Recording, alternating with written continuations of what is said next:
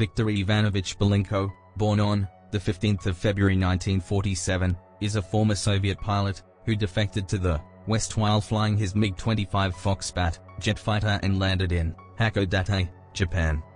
The defection of Viktor Belenko took place on September 6, 1976 when Lieutenant Viktor Belenko of the Soviet Air Defense Forces flew his Mikoyan Gurevich MiG-25P Foxbat aircraft from near Vladivostok in the far east of the Soviet Union to Hakodate Airport in Hokkaido Prefecture of Japan. His defection to the United States caused tension between Japan and the USSR, especially after Japanese and American specialists moved the aircraft to Hyakuri Air Base and disassembled it. It was returned to the USSR in boxes with some parts missing. The examination revealed to the US that, while impressive in speed, the MiG-25 was not the superfighter that they had feared it to be. During the Cold War, there were many defections by pilots and air crews, in addition to pilots defecting, of their own volition, there were Western efforts to encourage defections, beginning with the US Operation Moolah aimed at encouraging MiG-15 pilots in North Korea to defect. The Kuomintang ruling, Taiwan offered gold to defecting Chinese pilots, and the US Operation Fastbuck was similar to Operation Moolah, although aimed at encouraging a MiG-21 pilot in North Vietnam to defect. Operation Diamond was an Israeli operation similar to Operation Fastbuck, and was successful in getting an Iraqi pilot to defect with his MiG-21. On September 6, 1976 Belenko and several other pilots from his squadron of the Soviet Air Defense Force took off from Shugu, Yevka, air base around 300 kilometers, 190 miles, from Vladivostok, on a training flight.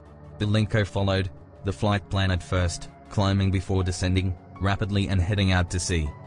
At around 1.10 pm, Japanese radar detected Belenko's plane and at around 1.20 pm, two F-4 fighters of the 302nd Tactical Fighter Squadron took off from Chitose, air base near Sapporo. Belenko's map of Hokkaido had only shown Chitose Air Base, and he had planned to land there. He had expected to be intercepted and escorted by military aircraft to a military base, either Chitose or another one. However, the weather was very cloudy, and the Japanese ground radar was not able to adequately track Belenko's aircraft.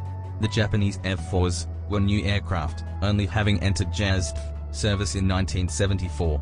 However, they had poor look-down shoot-down radar and were unable to locate the aircraft either. With fuel running low and needing to land quickly, he finally located Hakodate Airport in southern Hokkaido. Belenko circled Hakodate three times and landed at the airport.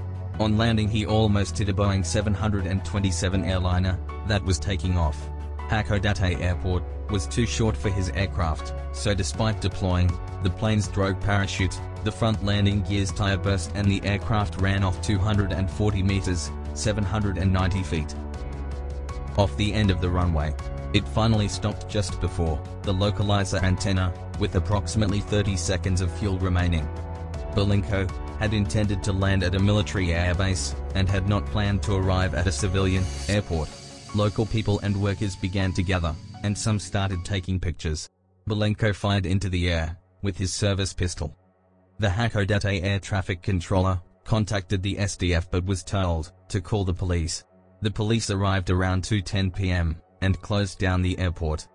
The MiG-25's arrival in Japan was a windfall for Western military planners. The Japanese government originally only allowed the United States to examine the plane and do ground tests of the radar and engines, but subsequently invited the US to examine the plane extensively. It was dismantled for this purpose in Japan. The plane was moved by a US Air Force C-5 Galaxy cargo aircraft from Hakodate to Air Base on the 25th of September, and by this time experts had determined that the plane was an interceptor, not a fighter bomber, which was a welcome reassurance for Japanese defense planners.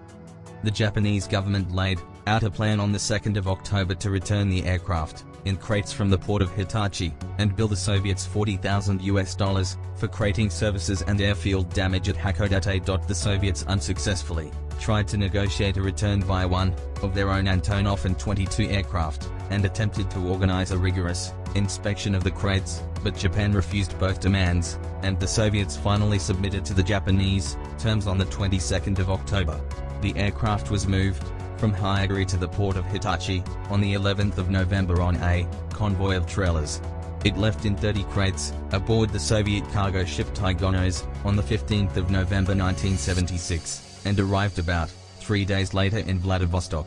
A team of Soviet technicians had been allowed to view sub-assemblies at Hitachi, and upon finding 20 missing parts, one being film of the flight to Hakodate, the Soviets attempted to charge Japan 10 million US dollars. Neither the Japanese nor Soviet bill is known to have been paid. In 1980, the US Congress enacted S. 2961, authorizing citizenship for Belenko. It was signed into law by President Jimmy Carter on 14 October 1980 as private law 96 to 62. After his defection, he co-wrote a 1980 autobiography, MiG Pilot, The Final Escape of Lieutenant Belenko, with Reader's Digest, writer John Barron. While residing in the United States, Belenko married a music teacher from North Dakota, Coral, and fathered two sons, Tom and Paul. He later divorced. He also has a son from his first marriage. Belenko has never divorced his Russian wife. After the breakup of the Soviet Union, he visited Moscow in 1995 on business.